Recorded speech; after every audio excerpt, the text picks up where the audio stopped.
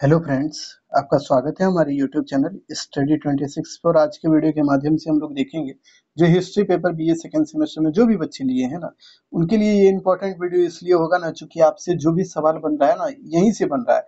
और एक दूसरे से रिलेटेड है। पहली बात तो ये ध्यान ये ध्यान में रखना है कि मेजर हो माइनर हो हो सब भी, इतिहास हो ज्योग्राफी पॉलिटी कोई भी है, आप हरेक को देखते रहिए हरेक यूनिवर्सिटी के सवाल को। आप देखिएगा, वहाँ से एक, दो, तीन वेरी करते रहेगा, ठीक है? सवाल अभी थोड़े डेप्थ में पूछे जा रहे हैं और कुछ क्वेश्चन ऐसे हैं जो कि ऑब्जेक्टिव डायरेक्ट आपसे नहीं पूछा जा रहा है, ठीक है? दूसरी बात है जब आप थ्योरी पढ़े रहेंगे ना तो आपका एक भी सवाल नहीं छूटेगा, ये तो गारंटेड है। लेकिन आपको थ्योरी उसी ढंग से पढ़ना होगा जिस ढंग से पढ़ाया गया है। आप थ्योरी को भी ऊपर ऊपर से पढ़िएगा तो आपका सवाल ऊपर ऊपर से गलत भी होगा। ठीक? तो चलिए शुरू करते हैं। मेजर पेपर का जो क्वेश्चन था, पूर्णिया यूनिवर्सिटी का हिस्ट्री पेपर का, उसको आप देख लीजिए। एक एक क्वेश्चन को देखिए। एक एक क्वेश्चन का आंसर आप खुद भी देखिएगा, आपको आता है या नहीं आता है। पहला क्वेश्चन था, निम्न में से किस विद्वान ने मिस्र के इतिहास पर प्रकाश डाला है? यानी मिस्र के इतिहास के बारे में कौन कौन लिखा है? यही बात ये पूछ रहा था। तो आप जानते हैं, जोसेफस एक है स्ट्रेबो है, यूसीबीएस है। यानी उपरोक्त में से सभी ने इसके बारे में लिखा है, ये बात ध्यान में रखिएगा तो डी ऑप्शन इसका सही होगा। आ जाइए दूसरे क्वेश्चन को देख लीजिए। मिस्र की सभी प्रभावशाली पिरामिड मतलब जो सबसे प्रभावशाली पिरामिड जो है मिस्र में बना था, गीजा का पिरामिड, जो कि हम पढ़ाते आए थे कि गीजा का पिरामिड कौन बनवाया था? तो खुफरू के द्वारा बनाया गया था। तो वही क्वेश्चन था कि कौन इसको बनवाया था? तो खुफरू के द्वारा बनवाया गया था। तो उसको ध्यान में रखिएगा कि गीजा के पिरामिड का निर्माण खुफू के द्वारा, यानी खुफरू, खुफू, कुफू, कुछ भी दिखे, मार देना है, ठीक है? तो इंग्लिश में सही लिखा है, हिंदी में इसका गलत लिख दिया है, ठीक है? तो इसलिए आप थोड़ा ध्यान में रखिएगा कि ऑप्शन बी इसका सही राइट होगा, ठीक है? आज ये तीसरा है, मेसोपोटामिया जो शब्द है, इसका अर्थ क्या होता है? तो मेसोपोटामिया का अर्थ होता है दो नदियों के बीच का क्षेत्र, जो कि हम पढ़ा रहे थे, दजला और फरात के बीच का क्षेत्र मेसोपोटामिया कहलाता है। तो यही तो क्वेश्चन था कि दो नदियों के बीच के क्षेत्र को मेसोपोटामिया कहते हैं, यही तो चुन के आपको मार देना था। तो दो नदियों के बीच के क्षेत्र को मेसोपोटामिया कहते हैं, ये भी था। मेसोपोटामिया में देवालयों को क्या कहा जाता था? यानी कि वहाँ के मंदिरों को क्या कहा जाता था? तो ये देखिए, जिगरिट कहा जाता था, जिगुरट। कहा जाता था, ठीक है? तो ये ऑप्शन डी सी आपका जो है, सही होगा जिगुरट कहा जाता था। ये देखिए क्वेश्चन और भी बी आर में भी पूछा है और भी यूनिवर्सिटी में पूछा हुआ है तो इसलिए ये सब देखिए क्वेश्चन टेली तो कर रहा है, बस थोड़ा सा ट्विस्ट कर रहा है। देखिएगा अभी ट्विस्ट हम बताएँगे कहाँ पे कर दिया है। उसके बाद देखिए, चीनी सभ्यता का प्रथम केंद्र कहाँ विकसित हुआ? तो देखिए, चीन की सभ्यता जब पढ़ा रहे थे तो हम बोले थे पीली नदी याद सबको रहता है, लेकिन याद जो करना है, वांगहो और यांगटीसी नदी करना है। तो वांगहो नदी के क्षेत्र में ये जो चीन की सभ्यता है, वो उभरी थी। यही आपको सही करना था हुआंगहो नदी घाटी में यांगटीसी नदी घाटी में। यही तो याद आपको रखना था, ठीक है? लेकिन जो मेन है, वो हवांगहो है तो हुआंगहो के ऊपर आपको फोकस करके हुआंगहो नदी सही करना था, ठीक है? अगले क्वेश्चन को देख लीजिए। फारस, जो कि प्राचीन ईरान का सबसे पुराना साम्राज्य कौन था? यानी कि फारस की सभ्यता, जब ईरान की सभ्यता आपको पढ़ाए थे तो वहाँ बताए थे कि सबसे प्राचीन सभ्यता, यानी कि वहाँ की जो साम्राज्य है, वो कौन है? अगर आपने पढ़ा है ना ईमानदारी से तो आप कमेंट ज़रूर करके बताइएगा कि सर क्या है। ठीक है, आपको ऑप्शन दे देते हैं। माया साम्राज्य है उसके बाद देखिए सास, सासनिद साम्राज्य सासनिद साम्राज्य यहाँ लिखा है। ठीक है, उसके बाद देखिए इनका साम्राज्य है और एकेमिनिड साम्राज्य है। इसमें से सही आप लिखिएगा, एकेमिनिड है या सासनिद साम्राज्य दोनों में से क्या होगा, आप बताइएगा, ठीक है? इंग्लिश हिंदी में थोड़ा सा क्या हुआ है, जानते हैं ट्रांसलेशन का थोड़ा फ़र्क हुआ है, ये बात तो सच है, ठीक है? तो इसका आप खुद बताइएगा, छह नंबर, एक दो क्वेश्चन आपके लिए छोड़ने वाले हैं, इसलिए छोड़ेंगे क्योंकि जो डिटेल में हमारे क्लास को किए हैं, और हम जानते हैं बहुत से बच्चे पहले से पढ़ रहे हैं तो उनको लाभ हुआ होगा, आज के मतलब सवाल से, ठीक है? अगले क्वेश्चन को देख लीजिए। अगला क्वेश्चन आपकी स्क्रीन पर है, क्या है? कि जो बृहस्पति है, मंगल है, शुक्र है, प्लूटो है, ये सभी देवी देवताओं की पूजा कौन से लोग करते थे? तो प्राचीन यूनान लोग लोग, ईरान के लोग, प्राचीन रोमन और प्राचीन भारतीय लोग। तो आप सीधा ये याद रखिएगा, यूनान के लोगों के द्वारा इसकी पूजा उपासना की जाती थी, ठीक है? इलियड और ओडिसी, देखिए ये क्वेश्चन पूछा था कि नहीं? बी में। कि वहाँ पे इलियड की रचनाकार कौन है? वो पूछा था और यहाँ पे इलियड और ओडिसी दोनों का पूछ दिया है। यानी एक ही साथ क्वेश्चन में दोनों का नाम दे दिया है खाली। तो आप जानते हैं, ये तो आपको याद करने की ज़रूरत अब नहीं होनी चाहिए। होमवर्क, उसके बाद देखिए, कैलियोग्राफी क्या होता है? कैलियोग्राफी एक लेखन की जो है ना, शैली है, ठीक है? जिसके अंतर्गत जो आप देखिएगा, लिखा जो भी रहता है पुरातत्व में, उसको पढ़ा जाता है, ठीक है? तो कैलियोग्राफी का मतलब वही होता है। उसके बाद देखिए, आपसे क्वेश्चन है पेलोपोनेशियन युद्ध, पेलो पेलोपोनेशियन युद्ध जब हम पढ़ा रहे थे एथेंस और स्पार्टा के बीच में ये युद्ध हुआ था, जो कि आप देखे थे बी में पूछा था। लेकिन यहाँ पे ट्विस्ट किया। क्या किया ट्विस्ट कि आपको पूछ दिया कि पेलोपोनेशियन युद्ध किसके बीच में हुआ था? और आपके पास एथेंस और स्पार्टा ऑप्शन ए में नहीं दिया।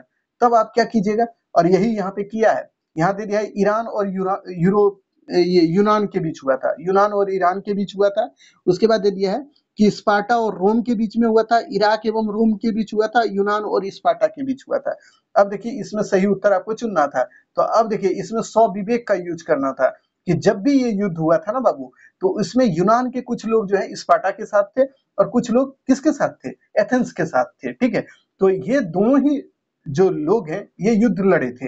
लेकिन सबसे पहली बात इसमें ये ध्यान रखिएगा, इन लोगों ने युद्ध सबसे पहले स्पार्टा के लोगों ने किससे किया था? ईरान के लोगों से, ईरान के लोगों को हरा दिया। उसके बाद ये लोग किससे लड़े? अपने में लड़ गए बाद में।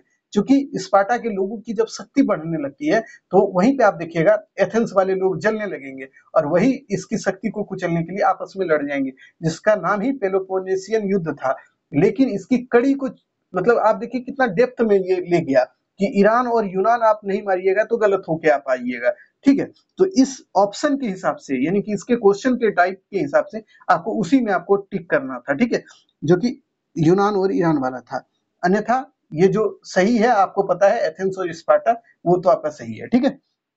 अब आ जाइए लॉन्ग आंसर क्वेश्चन क्या था, उसको देख लीजिए।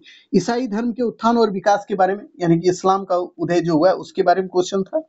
उसके बाद दूसरा क्वेश्चन था, प्राचीन ईरान के लोगों की राजनीतिक, सामाजिक, आर्थिक स्थिति, यानी ईरानियन सभ्यता के बारे में सब क्वेश्चन डाल दिया था एक ही साथ। उसके बाद देखिए, कानून एवं प्रशासन के क्षेत्र में, यानी कि देखिए, रोमन जो हम बताए थे आपको एडमिनिस्ट्रेशन एंड उसकी जो एक तरह से आप बोलिए तो प्रशासन और उसकी जो स्थितियाँ थी, यानी रोमन साम्राज्य जो आप पढ़े थे ना, उसको यहाँ पे डाल देना था चुपचाप। उसके बाद देखिए, इस्लाम का जन्म और विस्तार यानी देखिए, पहला था ईसाई धर्म। माफ़ कीजिएगा, पहला जो था, वो ईसाई धर्म था। और दूसरा जो क्वेश्चन ये है, इस्लाम। यानी ईसाई धर्म भी पूछ दिया, इस्लाम भी पूछ दिया, रोमन सभ्यता पूछ दिया, ईरान की सभ्यता पूछ दिया। ये क्वेश्चन पूछा हुआ था। उसके बाद देखिए, प्राचीन चीन की सभ्यता की सामाजिक, आर्थिक और राजनीतिक स्थिति पूछा हुआ है। तो इसको भी, यानी सामाजिक, आर्थिक, धार्मिक, राजनीतिक चारों पढ़ लीजिए। चीन की सभ्यता पूरा पढ़ा दिए एक वीडियो में तो उसको पूरा पढ़ लीजिए। तो ये क्वेश्चन पूरा का टोटल खत्म। वहीं से। उसके बाद देखिए, वास्तुकला और मूर्ति कला के क्षेत्र में प्राचीन मिस्र के लोगों का क्या देन था? ये क्वेश्चन पूछा हुआ था। इतना था ये शॉर्ट आंसर क्वेश्चन अब लॉन्ग आंसर क्वेश्चन भी देख लीजिए। अब देखिए, किस हद तक भौगोलिक परिस्थिति ने नदी घाटी के क्षेत्र में सभ्यताओं का उद्भव और विकास? यानी कि सीधा ये बोल रहा था कि नदियों के किनारे क्यों सभ्यता का विकास हुआ? तो हर एक, जब भी हम सभ्यता पढ़ा रहे थे तो वहाँ बता रहे थे कि नदियों के किनारे कोई भी सभ्यता इसलिए उभरा था बाबू क्योंकि उनको एक ट्रेड करने में मदद मिलता है, चूँकि एक जगह से दूसरे जगह ये सामान को ले जाते क्योंकि नदियों के माध्यम से। दूसरा था, इनको पानी की आवश्यकता होती थी तो पानी मिल जाता, खेती कर सकते थे उससे अपना पानी खुद भी पी सकते थे। तो ये तमाम जो जरूरतें थी नदियों की, इसीलिए तो ये सभ्यता नदियों के किनारे उभरा था, जितना भी प्राचीन विश्व में, देखिएगा सिंधु नदी घाटी के तट पर कौन सा सभ्यता था? सिंधु घाटी सभ्यता था। उसी तरह आप देखिएगा, पूरे विश्व में आप देखिए, चीन में अगर सभ्यता उभरी तो वो वांगो और यांगटीसी नदी के किनारे मिस्र में नील नदी के किनारे, मेसोपोटामिया, दजला और फरात के किनारे तो इसका रीजन यही था ना बच्चों, कि वो ट्रेड कर सके, उनको आर्थिक लाभ हो सके, कृषि कर सके, वो अपने लिए उसका यूज़ कर सके पानी पीने वगैरह के लिए। ठीक है, इसी वजह से ये नदियों के किनारे ये सभ्यताएँ उभरी थी। यही इसका उत्तर लिखना था, जो कि हर आपको जितना भी सभ्यता का पढ़ाए थे प्लेलिस्ट आप में प्लेलिस्ट में देखिएगा तो उसमें हर बार ज़िक्र इसका हुआ था। आप देखे होंगे तो ठीक है, नहीं तो आपकी मर्ज़ी। उसके बाद देखिए अगला है, यूनानी संस्कृति ने कई सभ्यताओं को प्रभावित किया। और आज भी आधुनिक संस्कृति का प्रभाव जो है ना, ये आधुनिक संस्कृति को प्रभावित कर रहा है। यानी यूनानी संस्कृति का जो देन था ना, उसी को लिखना था चुपचाप इसमें।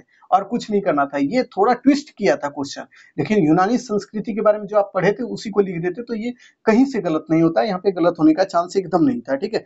अगला क्वेश्चन जो था आपका, प्राचीन मिस्र और मेसोपोटामिया की लिपि को जो है, और उसके लेखन जो कला है, उसके बारे में पूछ रहा था जो कि आपसे नहीं होता ये बात हम जानते हैं। क्योंकि लिपि और लेखन कला के बारे में कोई भी आपको एक्स्ट्रा नहीं पढ़ाया है, कोई नहीं। उसमें केवल लिपि और लेखन कर मतलब दोनों की लिपि को बता दिया होगा, लेकिन हम भी नहीं पढ़ाए हैं तो हम भी इसको मानते कि ये क्वेश्चन थोड़ा डिफ़िकल्ट था क्योंकि हर क्वेश्चन आपसे बने, ये तो ज़रूरी नहीं है ना। बनाना तो दो ही तीन था, जो कि आपका बन गया होगा। ठीक है, अगला क्वेश्चन जो था आपका देख लीजिए। सातवीं से तेरहवीं शताब्दी में अरब जगत का जो, यानी कि अरब कल्चर का जो अन्य देशों पर प्रभाव पड़ा, इसके बारे में ये क्वेश्चन पूछ दिया था। उसके बाद देखिए, सामंतवाद के बारे में क्वेश्चन पूछा था।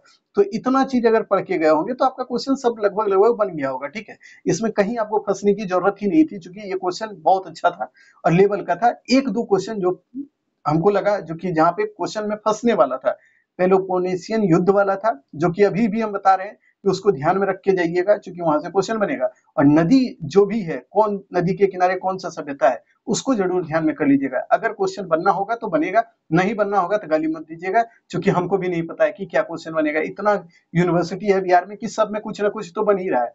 कहीं तो ऐसा नहीं है कि कुछ छूट रहा है, कुछ नहीं बन रहा है। सब में कुछ ना कुछ बन रहा है, इसीलिए हो सकता है आप में बन जाए, ठीक है? तो चलिए, इसी आशा विश्वास के साथ अपनी तैयारी को एकदम लगातार लगाए रखिए। बनाए रखिए और पढ़ते रहिए। फिर मिलते हैं नए वीडियो में तो तक के लिए धन्यवाद।